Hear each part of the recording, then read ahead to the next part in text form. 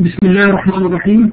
السلام عليكم ورحمة الله وبركاته. طلاب وطالبات تعليم عن بعد بالانتساب المطور. طلاب مقرر مدخل الاقتصاد الإسلامي. أهلا بكم في سنة دراسية جديدة وفصل دراسي أول.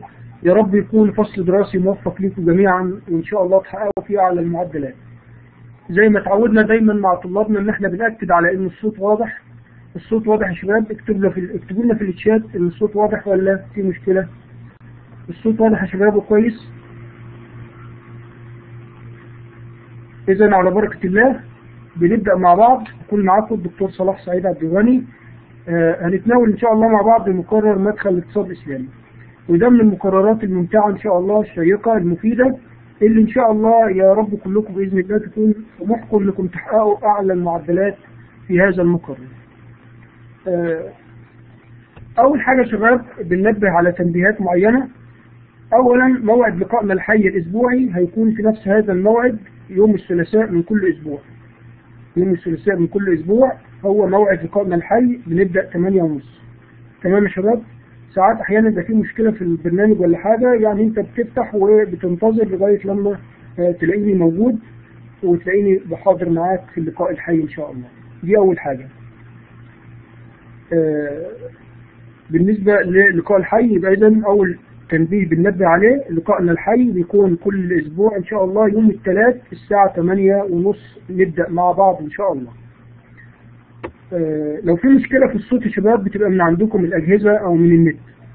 اللي ممكن تلبس سماعة هيدفون كده هتسمع كويس اللي عنده مشكلة في الصوت. لكن أنا دايما بأكد على الصوت وببقى عامل تشيك عليه قبل ما أبدأ معاكم وعارف إن الصوت عندي الصوت بالنسبة لي كويس.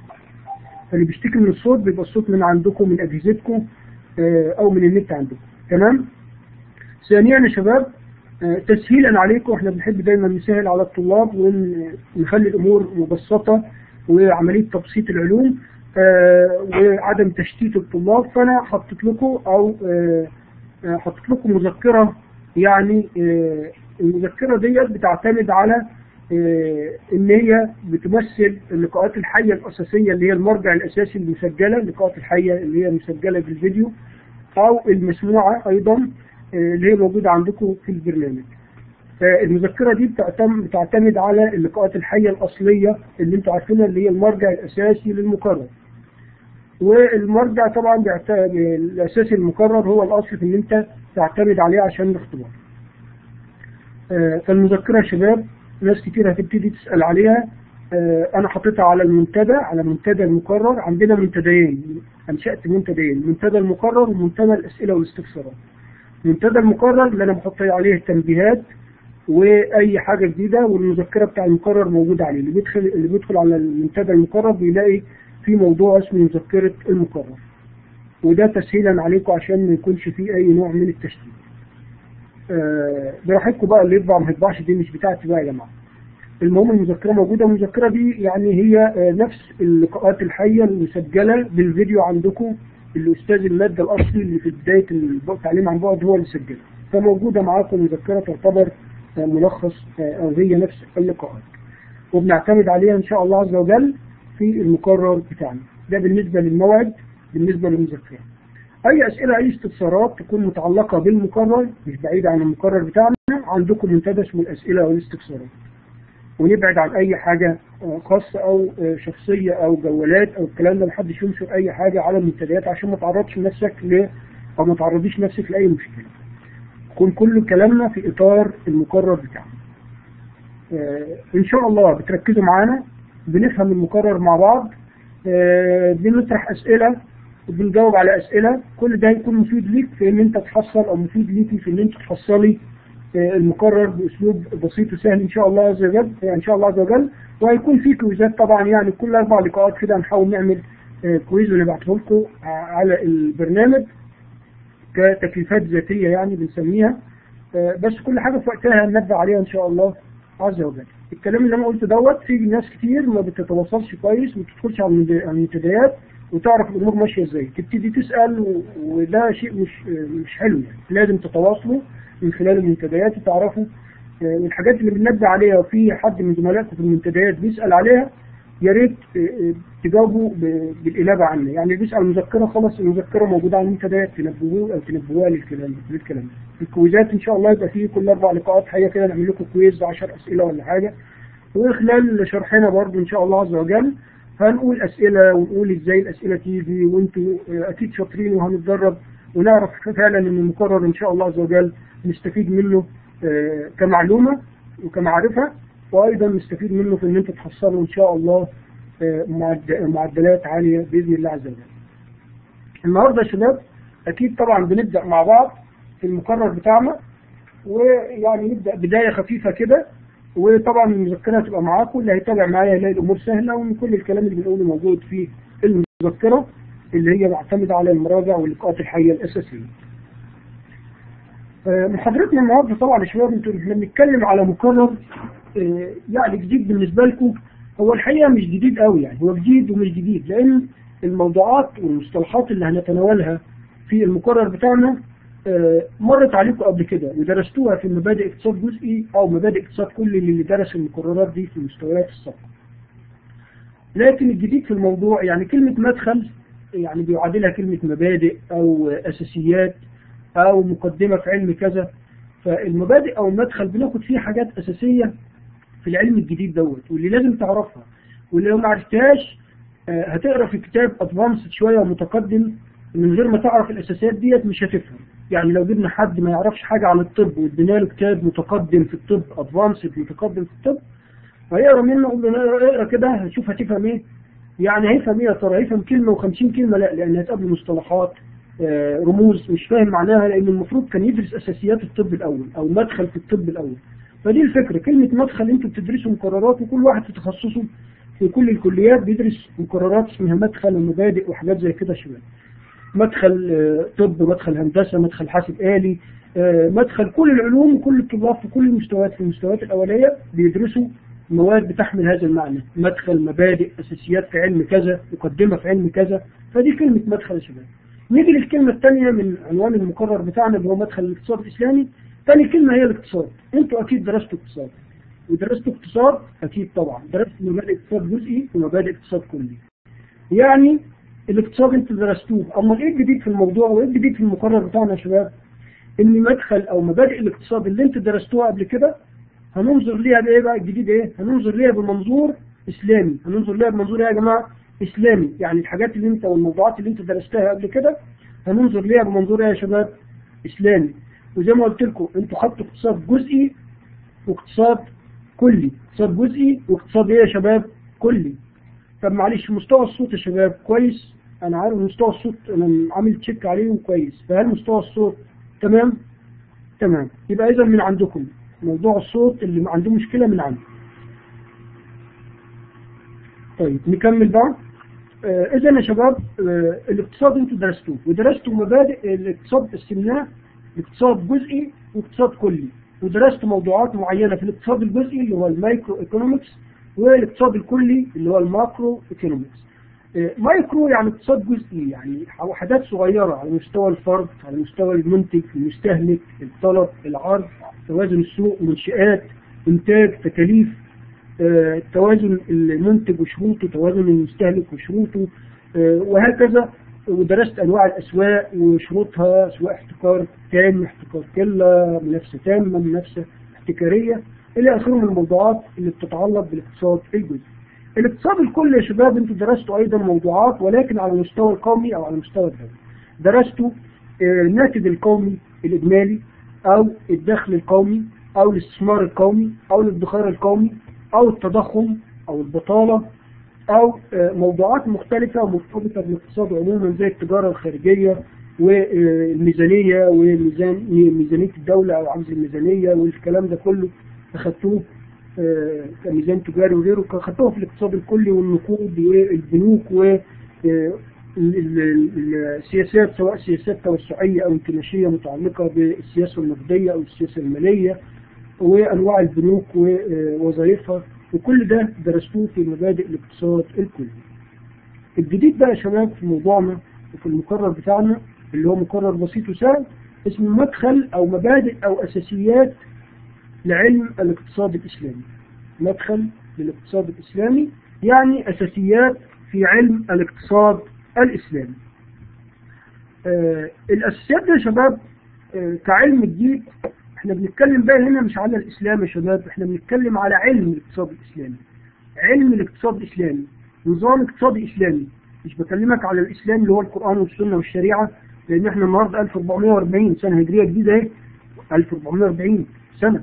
إنما أنا بكلمك على العلم. العلم كمؤلفات وكمتخصصين وكتب وأبحاث ونظام وآراء وأفكار ونظريات. فهو علم جديد شوية هو علم جديد في العشرات السنين الأخيرة. والله برفع صوتي يعني بس هو الأصوات الصوت مشكلة من عندكم أنا عامل تشيك على الصوت وعارف إن الصوت كويس وواضح. الصوت من عندكم يا شباب من أجهزتكم. فالعلم دوت يا شباب هو علم جديد شوية. مش بكلمك عن الإسلام بقول بكلمك عليه كعلم وكنظام ونظريات وآراء وأفكار متعلقة بالاقتصاد الإسلامي وبناء عليه يا شباب ده علم ظهر في العشرات السنين الأخيرة كعلم. لكن قبليه ظهر أنظمة أخرى وأفكار أخرى مرتبطة بقى بموضوع بأنظمة أنتوا درستوها قبل كده أو عندكم فكرة عنها. لما أقول النظام الرأسمالي نظام الاقتصادي الرأسمالي أكيد مر عليكم وخدتوا عنه فكرة لكن هندرسه برضه هنا في في المقرر بتاعنا. أكيد كمان خدتوا النظام الاقتصادي الاشتراكي أو الشيوعي. اقتصادي أو شيوعي يعني برضه درستوه قبل كده أو مر عليكم كفكرة آه وعلماء مرتبطين بيه قبل كده. لكن الجديد بقى اللي لازم تعرفه مرتبط بالمقرر بتاعك اللي هو الاقتصاد الإسلامي كنظام جديد. المقرر بتاعنا يا شباب مقرر. لا فيش ما فيهوش معادلات ما فيهوش مسائل رياضية ولا مسائل حسابية ولا رسوم بيانية ولا مصطلحات إنجليزية. تفهموا من كده إيه يا شباب؟ بتقول زي ما تقولوا نظري يعني كله نظري. كله نظري واحد يقول لك يبقى حفظ. لا. أنت في الجامعة وكطالب يعني تعليم عالي وطالب جامعي أو طالبة جامعية هنعتمد إن شاء الله على الفهم يا شباب. وأسهل حاجة لما بتفهم الحاجة بتحصلها كعلم بأسلوب سهل جدا وما بتتعبش في استذكارها وبتحصل فيها معدل عالي.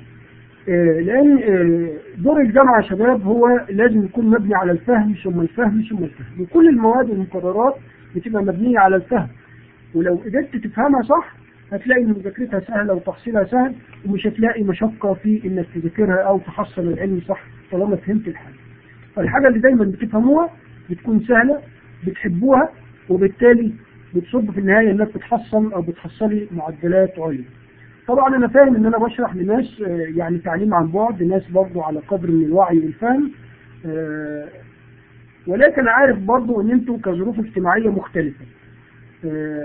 يعني ظروف اجتماعية اللي في شغل اللي في وظيفة اللي مش عارف المتزوج اللي أولاد اللي يعني عارف إن ظروفكم الاجتماعية مختلفة.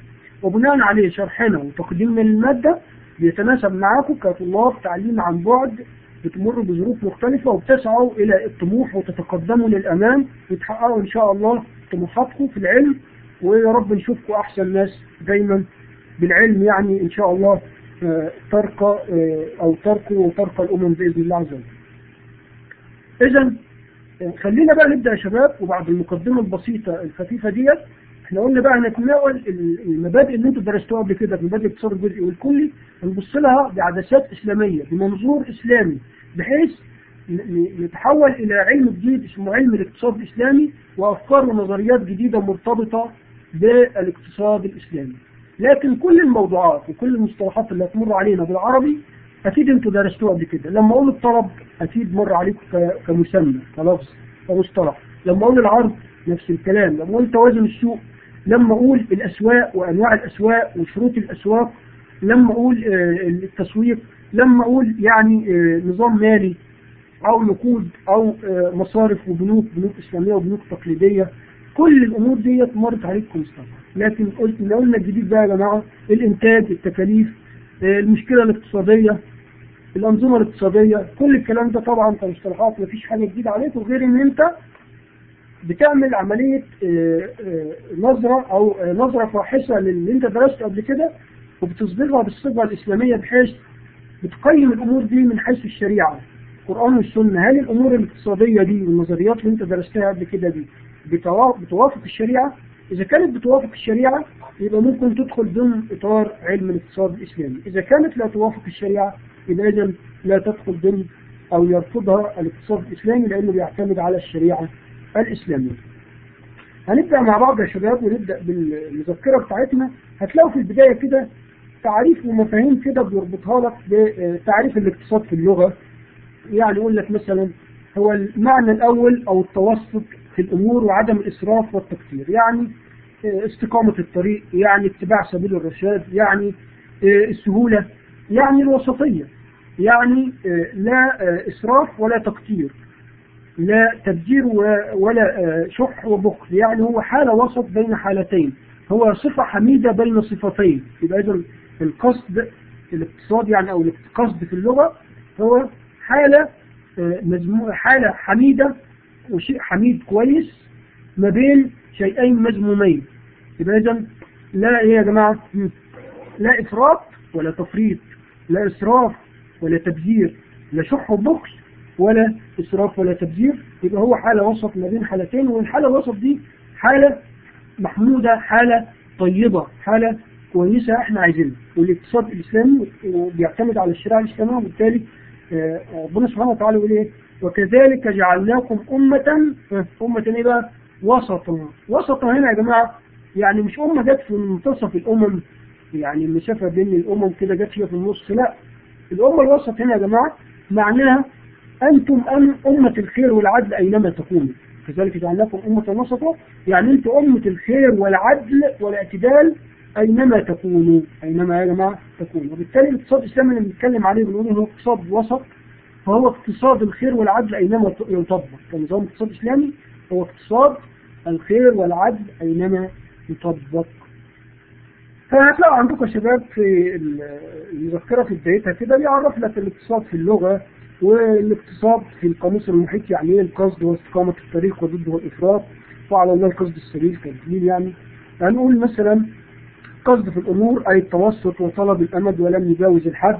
يعني دي حاجات تعرفوها سريعا يعني مش معقول هسألك في الاقتصاد في اللغة يعني إيه في القاموس يعني إيه. لا دي حاجات تمهيد ليكم على أساس تبتدي لما تقرأ في المادة وتفهمها معانا في الشرح تلاقي الأمور متسلسلة ومترابطة كده مع بعضيها وإن المادة سهلة ومبنية على بعضيها زي الدرج كده تطلع درجة أولى ثانية ثالثة يعني مش تفهم الثانية والثالثة غير لما تطلع الأولى وهكذا. درجات مبنية على بعضيها ومعتمدة على ما سبق ما قبلها فإحنا بنبدأ مع بعض واحدة واحدة أهو أكلمنا طالعين درج وبالتالي آه هتقدروا إن أنتوا إيه يا شباب آه تفهموا المقرر بسهولة جدا. يا جماعة والله الصوت من عندكم الصوت من عندكم. أنا عملت ست مرات ومرات وعارف إن الصوت عندي تمام وبيطلع بيطلع من عندي تمام بيسجله وطالع تمام. فالأجهزة عندكم واللي الصوت و... الصوت عنده ضعيف يلبس سماعات هيدفون الهيدفون هتسمعك الصوت أفضل وأفضل وأفضل. ومعظم الناس عمالة تقول الصوت ممتاز والصوت كويس. واضح يا شباب؟ فهتلاقوا طبعا في البداية عندكم تعريفات للقصد والاقتصاد في اللغة وفي الاصطلاح. ومثلا معنى الاقتصاد في الاصطلاح هو الاعتدال بين الإسراف والتقتير لا تكون مسرف ومبذر ولا تكون مقتر وشحيح وبخيل. قول الله عز وجل ولا تجعل يدك مغلولة إلى عنقك ولا تبسطها كل البسط يعني ما تخليش إن أنت لا مسرف ولا مبذر ولا شحيح وبخيل. وبناء عليه هو الاقتصاد اللي إحنا عايزينه. وبالذات لما يكون اقتصاد مبني على الشريعة هو ده اللي عايزينه حال الوسط والاعتدال. أما العز بن عبد السلام مثلا طبعا لو في تدليلات يا شباب الأدلة دي مش بنقول بالحفظ لكن هي لتثبيت المعلومة. الأدلة في المقرر بتاعنا معظمها لتثبيت المعلومة. لكن في بعض الأدلة البسيطة اللي ممكن أجيبها لك في سورة صح وغلط أو في سورة اختيار متعدد. بتبقى أدلة بسيطة وسهلة وواضحة. زي مثلا أدي لك مثال. نقول مثلا قول الرسول صلى الله عليه وسلم لا ضرر ولا ضرار. أو من جوامع كلم الرسول صلى الله عليه وسلم لا ضرر ولا ضرار. قاعدة فقهية معروفة. هذا يعني منع الضرر. ألف جزئيا ب نسبيا دال جيم مطلقا. دال مثلا نقول لا شيء مما ذكر أو جميع ما ذكر. يعني هنا منع الضرر إيه بقى مطلقا. مطلقا يا جماعة. خلاص؟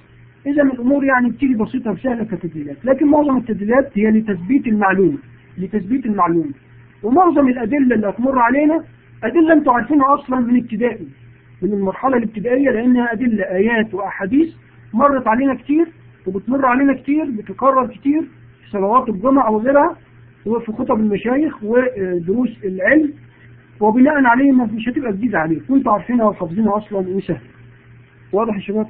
فخلينا نكمل بقى مع بعض وبنقول آه مثلا العز بن عبد السلام آه بأنه عرف الاقتصاد بأنه هو رتبة بين بين رتبتين رتبة بين رتبتين ومنزلة بين منزلتين. الأولى تفريط أي التقصير يعني والثانية الإفراط أي التبذير. يعني إحنا لا عايزين لا إفراط ولا تفريط. لا إحنا عايزين الصفة الحميدة الحلوة الكويسة اللي بين الاثنين دول. هي صفة حميدة وكويسة ما بين صفتين سيئتين تمام يا شباب؟ طيب كلكم طبعا شباب. لكن خلينا ندخل على اللي إحنا عايزين نبدأ منه ونقول ده بقى اللي يهمنا أكتر يا شباب. نبدأ مع الاقتصاد في الاصطلاح الوضعي. والوضعي يعني من وضع الإنسان. يعني الاصطلاح الإنسان حطه بوضع بفكره مش جايبه من القرآن والسنة. الاصطلاح الوضعي آه تعريف الاقتصاد بيقول فيه يقصد به آه آه إن هي الاقتصاديين الوضعيين العلماء اللي هم اللي حطوا التعريف ده عرفوا علم الاقتصاد وده ظهر في أواخر الربع الأخير من القرن الثامن عشر. يعني القرن يا جماعة القرن يعني القرن كسنوات هو 100 سنة. القرن كام سنة؟ القرن 100 عام. فلما نقول القرن أواخر الربع الأخير من القرن الثامن عشر يعني 1800 وبعدها بقى 1000 بعد 1875 76 7 إلى آخره. واضح يا شباب؟ برافو عليك أنتوا شاطرين انتبهوا آه وينسب آه إليه تأسيس علم الاقتصاد الوضعي في هذه الفترة في أواخر الربع الأخير من الاقتصاد من القرن الثامن عشر. فبدأ تعريف علم الاقتصاد العام علم الاقتصاد النظري اللي هو اللي أنتوا درستوه المرتبط بالرأسمالية والاشتراكية والكلام ده اللي هو من وضع الإنسان اقتصاد الوضع وبناء عليه تعددت تعريفات الاقتصاد العام والاقتصاد الوضعي واللي أنتوا درستوها قبل كده شباب في مجال الاقتصاد الجزئي والكلي كتعريف علم الاقتصاد بشكل عام. عدة علماء عرفوه لكن الحقيقة التعريفات كلها بسيطة وسهلة وكلها بتدور حوالين معنى واحد. لو قلنا مثلا تعريف من التعريفات البسيطة دي على سبيل المثال لعلم الاقتصاد الوضعي الاقتصاد العام اللي هو من وضع الإنسان يعني هو العلم الذي يهتم بدراسة الثروة إنتاجا وتوزيعا. مثلا يعني تعريف مبسط. لكن في تعريف آخر يقول لك هو العلم الذي يهتم بدراسة سلوك الإنسان كعلاقة بين غايات متعددة أو رغبات متعددة ووسائل وموارد نادرة ذات استعمالات مختلفة أو استعمالات بديلة. ده تعريف مثلا ثاني لكن ممكن أقول لكم تعريف أشمل من كده ويكون مفهوم أكتر من التعريفات دي. تعريف شامل. هنقول علم الاقتصاد هو يا جماعة علم الاقتصاد العام. إحنا لسه ما دخلناش على علم الاقتصاد الإسلامي كتعريف. علم الاقتصاد بشكل عام يا شباب هو عبارة عن أو هو كعلم اقتصاد عام وضعي من وضع الإنسان هو أحد اسمع التعريف ده بقى كده بفهم وبتأني واحدة واحدة هو أحد فروع العلوم الاجتماعية أو العلوم الاجتماعية. طب العلوم الاجتماعية تفتكروا بتدرس مين؟ بتهتم بدراسة مين؟ إحنا عايزين نفهم يا جماعة لو فهمت تعريف مش هيبقى مشكلة أنت هتبقى مش لازم تحفظ تعريف بعينه. يبقى نقول إيه يا جماعة برافو عليكم يعني نقول واحد فروع العلوم الاجتماعية. طب العلوم الاجتماعية أصلا بتدرس مين؟ الإنسان. طب هتدرس إيه في الإنسان؟ تدرس سلوك الإنسان. يبقى نقول التعريف كده يا جماعة هو أحد فروع العلوم الاجتماعية الذي يهتم بدراسة سلوك الإنسان. طب هندرس سلوك الإنسان تجاه إيه بقى؟ برافو عليكم. تجاه الموارد. بس يا ترى أي موارد؟ الموارد الحرة الفري المجانية دي؟ ولا الموارد الاقتصادية بقى المحدودة النادرة نسبيا؟ تمام. تجاه ها مش أي موارد لا تجاه الموارد الاقتصادية المحدودة أو النادرة نسبيا. طب الإنسان عايز يعمل إيه في الموارد دي يا شباب؟ عايز يخربها يدمرها يلوثها ولا عايز يعمل إيه في الموارد؟ ويسعى الإنسان لاستخدام هذه الموارد إيه بقى؟ ويسعى الإنسان لاستخدام هذه الموارد استخدام إيه؟ سيء ولا استخدام وحش ومش كويس ولا استخدام أمثل واستخدام جيد واستخدام رشيد؟ ممتاز صح كده. يبقى عايز الانسان يسعى لاستخدام هذه الموارد استخدام إيه يا جماعة؟ استخدام أمثل استخدام جيد استخدام رشيد. طب الإنسان بيتعب نفسه ليه؟ وبيحافظ على الموارد دي وعايز يستخدمها استخدام أمثل ليه؟ هو محتاج حاجة. ها؟ ليه بقى هيعمل إيه بالموارد دي؟ الإنتاج الإنتاج إيه؟ عايز يأكل عايز يشرب عايز يلبس عايز يتعلم عايز يتعالج عايز يترفه. أيوه. لانتاج ينتج إيه بقى انتاج السلع والخدمات. طب السلع والخدمات دي هيعمل بيها إيه؟ محتاج حاجة منها؟ عنده رغبات عايز يشبعها يبقى إيه بقى لانتاج سلع وخدمات لإشباع رغباته واحتياجاته. طب رغبات الإنسان واحتياجاته ده يا شباب هل هي حاجة واحدة ولا اثنين ولا ثلاثة ولا دي رغبات واحتياجات متعددة ومتنوعة ومستمرة لا تنتهي؟ أيوه بالظبط كده. طب الإنسان لما يشبع رغباته واحتياجاته يا شباب هل هيبقى مبسوط ولا متضايق؟ ها؟ الانسان لما يشبع رغباته واحتياجاته هل هيبقى مبسوط ولا متضايق؟ هل هيبقى حقق لنفسه حاجة؟ وبالتالي وبالتالي بقى تحقيق ها. الرفاهية الاقتصادية للفرد ولا للمجتمع؟ بعد يقول لك الله طب هو المجتمع الفرد هو وحدة بناء المجتمع للفرد والمجتمع. صح يا شباب؟ للفرد والايه طب ما أنتم ممتازين أهو. ده تعريف علم الاقتصاد تعريف شامل كده مفهوم مش عايز حفظ. وهتلاقي التعريفات المذكورة عندك في المذكرة كلها واللي انت درستها قبل كده في مبادئ الاقتصاد الجزئي. أو الكلي التعريف دوت شامل ليها. وإحنا قلنا تعريفين بساط من شوية أيضا الكلام اللي موجود فيها ذكر في التعريف المفهوم البسيط السهل السهل دوت. هعيده تاني. مش محتاج حفظ يا شباب محتاج فهم. هو إيه علم الاقتصاد ده؟ والله ده فرع من العلوم الاجتماعية. طب العلوم الاجتماعية بتهتم بدراسة مين؟ الذي يهتم بدراسة ها؟ سلوك الإنسان. طب هندرس إيه في سلوك الإنسان؟ يهتم بدراسه سلوك الإنسان تجاه مين؟ تجاه إيه؟ أيوه تجاه آه الموارد بس مش أي موارد بقى تجاه الموارد أيوه الاقتصادية المحدودة أو النادرة نسبيا طب الإنسان عايز يعمل إيه في الموارد دي؟ عايز يدمرها ويخربها ولا عايز منها إيه؟ ويسعى الإنسان لاستخدام هذه الموارد استخدام أمثل استخدام جيد استخدام رشيد ليه هو عايز منها حاجة؟ أيوه عايز ياكل ويشرب ويلبس ويتعلم ويتعلم. ليه؟ لانتاج السلع والخدمات. طب هيعمل بيها السلع والخدمات؟ أكيد عنده رغبات واحتياجات لإشباع رغباته واحتياجاته. طب رغباته واحتياجاته دي حاجة واحدة ولا اثنين ولا رغبات واحتياجات متعددة ومتنوعة ومستمرة لا تنتهي. بالظبط كده رغبات كتيرة جدا. وبالتالي لما يشبع رغباته واحتياجاته المتنوعة ديت يبقى حقق لنفسه حاجة هيبقى مبسوط هيبقى سعيد. وبالتالي يحصل إيه بقى؟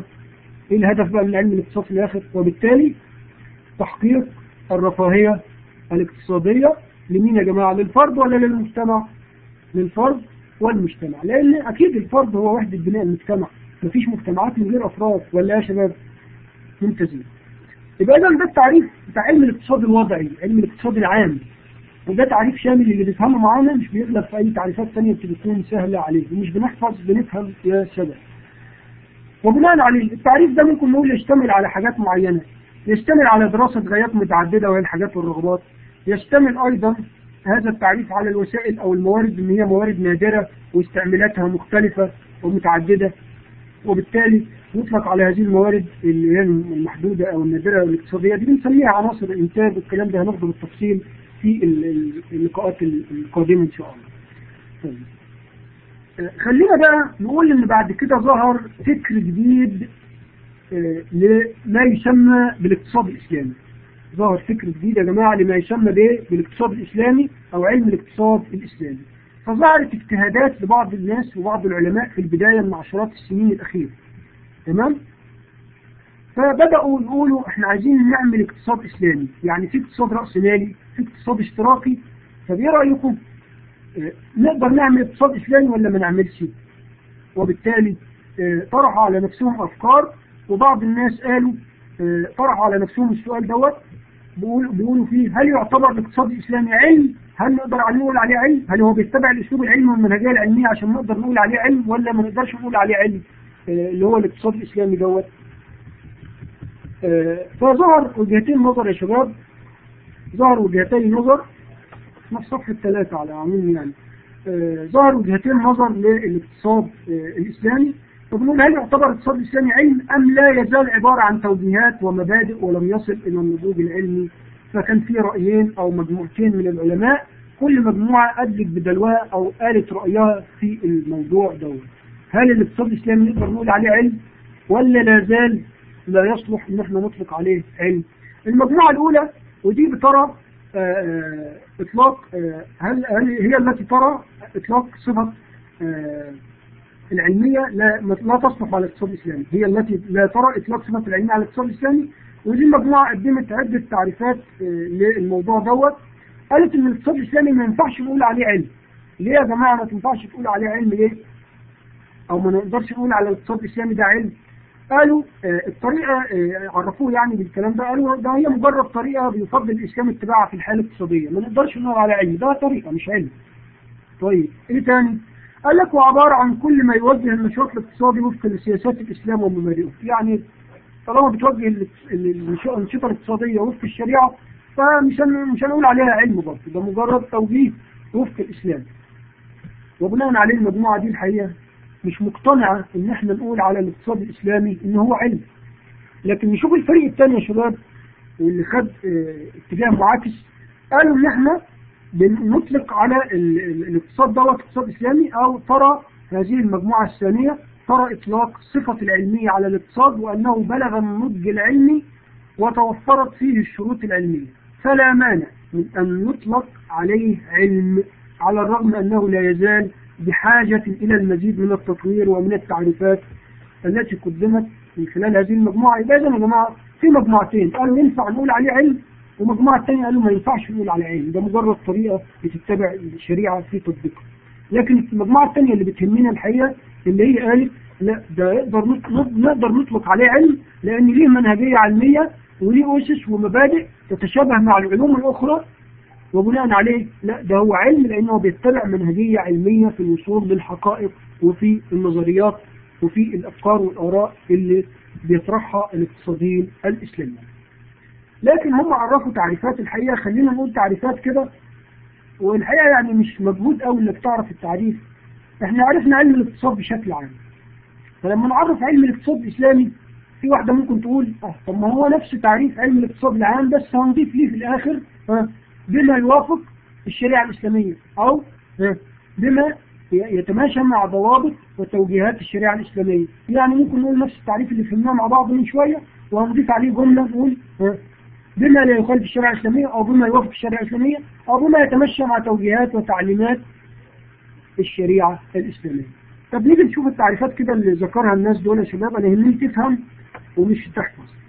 التعريفات اللي قدمتها المجموعة الثانية واللي قالت إن الاقتصاد الإسلامي ده هو علم ولازم نطلق عليه علم لأنه بيتبع منهجية علمية. أول حاجة تعريف علم الاقتصاد الإسلامي هو العلم الذي يهتم بدراسة الظاهرة الاقتصادية في مجتمع إسلامي. ده تعريف. طب نشوف تعريف تاني كده يا شباب. هو علم دراسة وتحليل سلوك الفرد تجاه الموارد الإنتاجية أو الاقتصادية من أجل تحقيق الرفاهية الاقتصادية. لكن فين؟ المرجعية بتاعته مين ده؟ في إطار في إطار ضوابط وتوجيهات وتعاليم الشريعة الإسلامية طب الشريعة الإسلامية عبارة عن إيه يا شباب؟ الشريعة الإسلامية جاية منين؟ حد مألفها؟ ولا الشريعة هي القرآن والسنة؟ والقرآن هو ماذا؟ هو كلام المولى عز وجل كلام ربنا سبحانه وتعالى طب والسنة؟ ها؟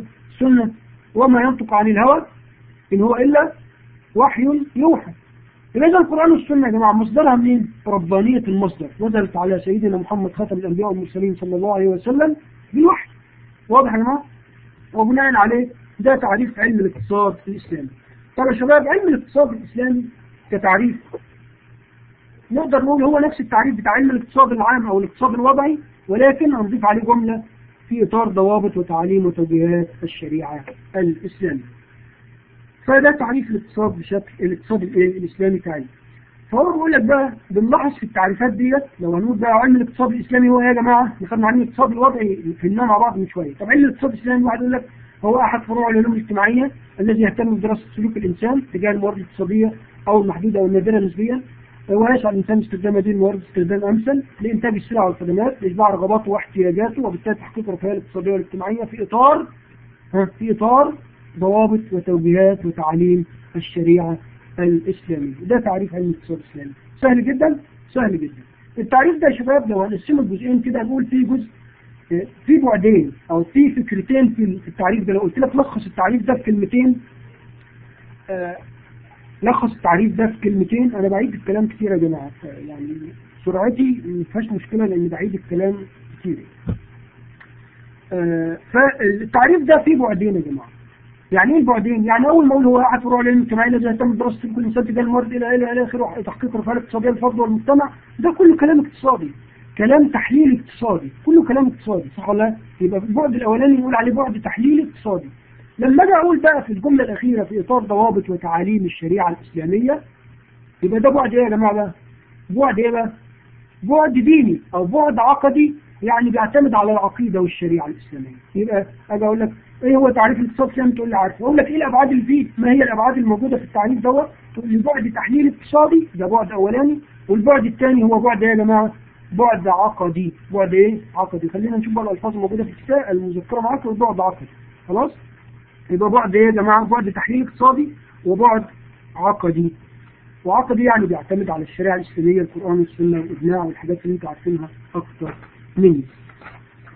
طب في مشكلة لغاية كده يا شباب. عرفنا الاقتصاد العام وعرفنا الاقتصاد الإسلامي وعرفنا وعرفنا إن في بعدين لعلم الاقتصاد الإسلامي.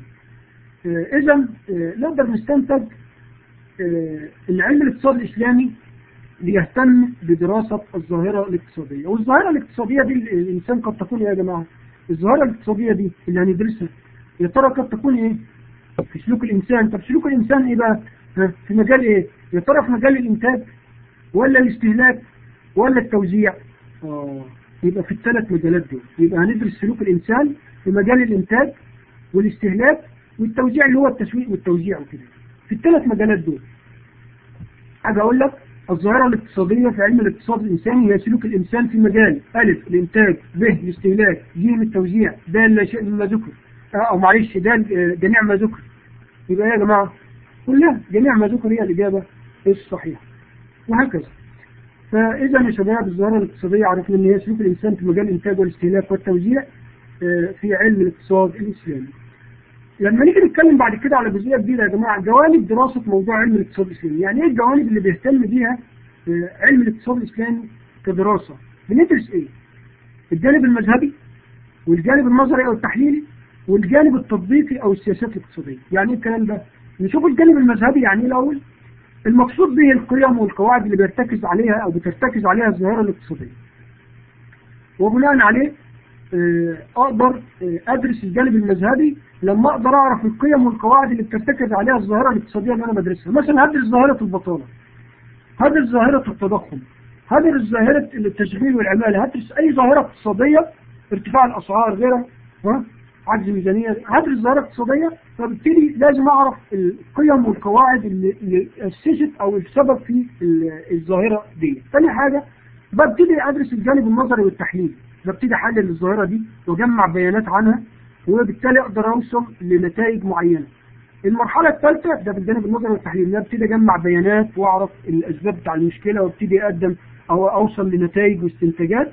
بعد ما بوصل لنتائج واستنتاجات يا ترى يا ترى النتائج دي أقدر أطبقها عمليا على أرض الواقع ولا لأ؟ يعني أنت بتشوف الظاهرة الأول الجانب المذهبي بتلاحظ الظاهرة وبتدرس الظاهرة ديت بعد كده بتجمع عنها بيانات وتعرف أسبابها وبعد ما تجمع بيانات بتحلل البيانات دي وتوصل منها لاستنتاجات وتوصل لنتائج النتائج دي ثالث مرحلة ها هي الجانب التطبيقي أو السياسة الاقتصادية ان أنت تقدر تطبق بقى الكلام ده على أرض الواقع أو تعمله نظرية يقدر يمكن تعميمها وهكذا.